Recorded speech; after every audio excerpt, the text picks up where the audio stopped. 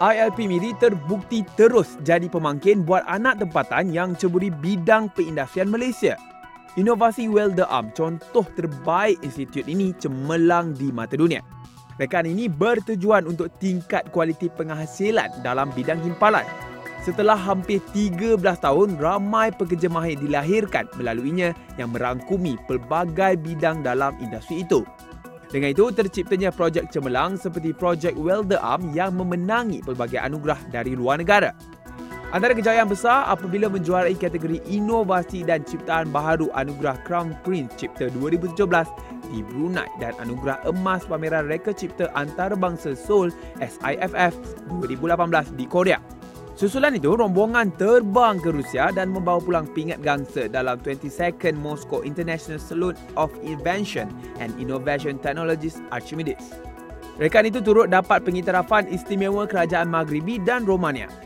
Jadi dia punya tujuan dia adalah untuk membantu uh, pelajar-pelajar baru dalam bidang uh, especially dalam bidang kimpalan kan untuk memastikan uh, hasil kualiti uh, kimpalan yang dibuat adalah uh, lebih baik dan boleh diterima. Walaupun ada cabaran tersendiri, inovasi seperti ini sebenarnya banyak bantu untuk berkompromi dengan keperluan semasa terutamanya buat pelajar yang baru mula bergiat dalam bidang kimpalan. Khususnya untuk pelajar-pelajar uh, di ILP Miri dan sekarang ni Alhamdulillah kita punya pencapaian uh, di luar daripada ILP Miri uh, hingga ke peringkat antarabangsa mungkin dia boleh digunakan di peringkat dunia. Bagi pengarah ILP Miri, pihaknya punya perancangan untuk lahirkan lebih ramai pelajar dan kaki tangan yang kreatif dan inovatif dan boleh dikomersialkan.